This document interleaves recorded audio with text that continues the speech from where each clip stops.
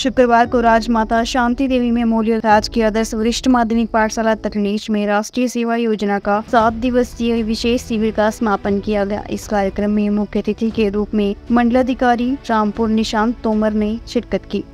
वहीं विशिष्ट अतिथि के रूप में पुष्पानंद गुप्ता, प्रधानाचार्य नोगली, सरनी नेगी, प्रधानाचार्य सिंगला यशपाल ठाकुर, प्रधानाचार्य दत्तनगर भी उपस्थित रहे। मुख्य अतिथि ने दीप प्रज्वलित कर कार्यक्रम का शुभारंभ किया।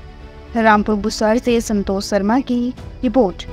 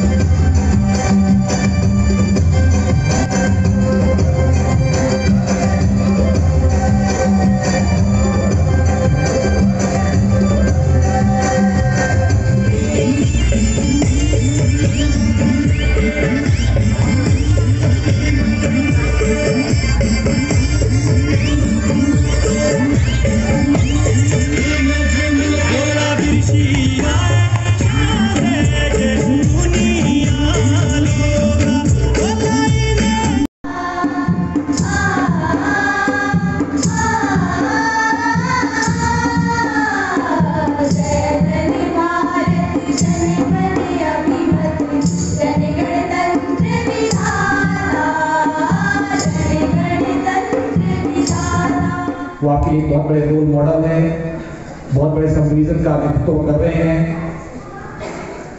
और आपकी जानकारी के लिए भी बता दूँ कि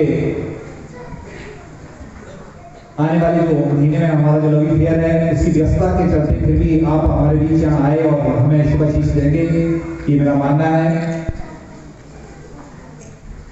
लेकिन प्यारे बच्चों, दो तीन बातें मैं ज़रूर आपके बीच रखना चाहूँगा। सात दिवसीय इस विशेष शिविर में जो एनएसएस की हम बात करते हैं, इसका उद्घाटन समारोह में एग्जीक्यूटिव डायरेक्टर एस एस जो झांगी कॉर्पोरेट स्टेशन के हैं। यादव जी वो आए थे, जो मुझे सोशल साइट से पता लगा। प्रिंसिपल दत्तनगर, ठाकुर साहब। Principal Nogli Shri Gupta ji. Principal Shimla, madam Ramchandra Negi ji, हमारे श्री जानकी दास कपूर जी, हमारे पत्रकार बंधु शारू राम जी, विभिन्न पाठशालाओं से आए हुए हमारे प्रधानाचार्य के साथ, जिन्होंने हमारे इस प्रोग्राम की गरिमा